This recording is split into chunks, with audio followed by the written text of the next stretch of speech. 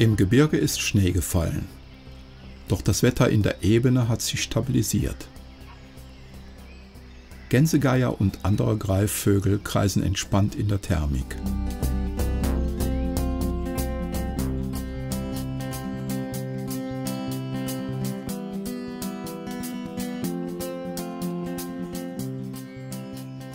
Eine der vielen endlos scheinenden Schotterpisten führt mich über eine einsame Bahnlinie zu einem kleinen Dorf.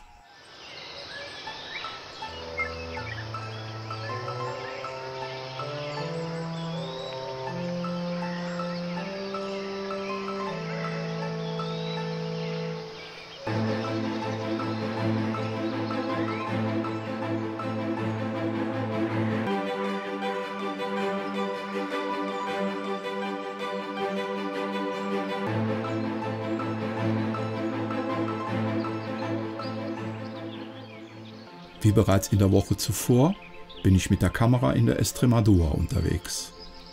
Mich interessieren alle Tiere, aber besonders die Vögel.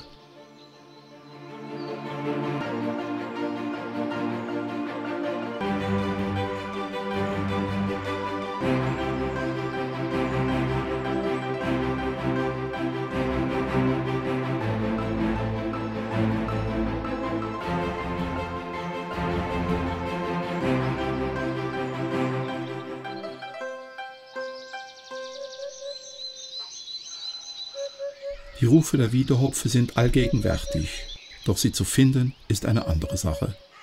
Ihre Fluchtdistanz auf der Wiese ist hier enorm und auf größere Entfernung sind sie kaum auszumachen.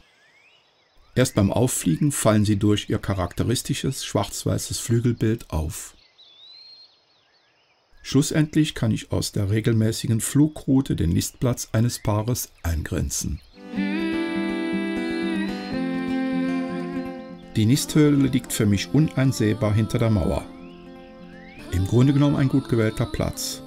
Gehört doch ein riesiger Hütehund zum Areal.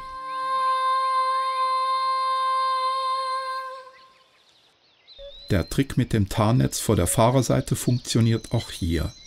Ich kann tolle Beobachtungen machen, denn das Männchen sitzt häufig an exponierter Stelle. Nur für Intimeres zieht es sich zum Weibchen in den dicht belaubten Baum zurück. Über einige Tage hinweg beobachte ich die beiden Vögel. Es sind für mich die ersten Wiedehopfe in freier Natur. Ihr Verhalten, besonders die offenbar immer festere Paarbindung, begeistert mich.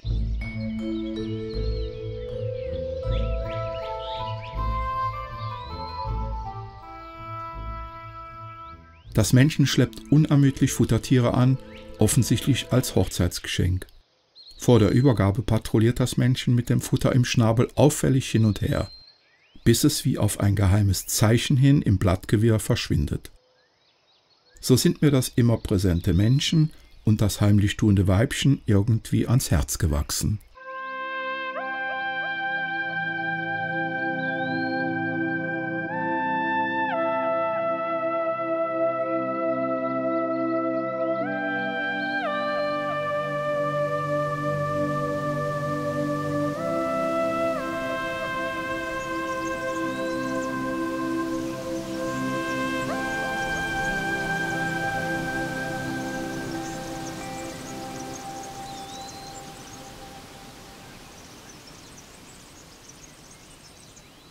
Heute stimmt etwas nicht. Das Männchen scheint irritiert, denn kein Weibchen lockt im Baum, ihm die Beute abzunehmen.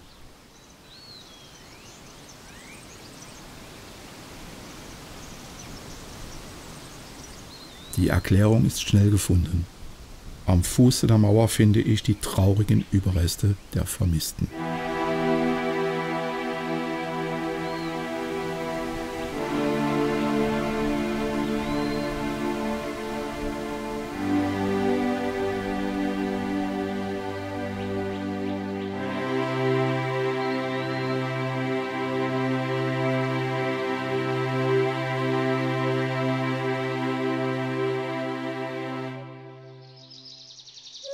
Thank you.